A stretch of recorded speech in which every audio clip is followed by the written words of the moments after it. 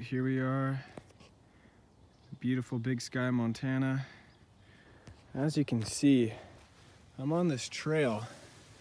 And there's just little, little marks along this trail.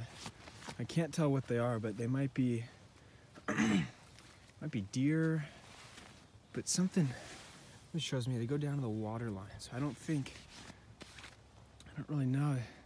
Wait, what? What's that? I think something's going on. I hear someone yelling. What's going on? Ow! What's? Oh, Owen! Ah, Mr. Beaver! Oh! He's got. Oh no! There's so much blood! Oh! Oh! Oh! oh!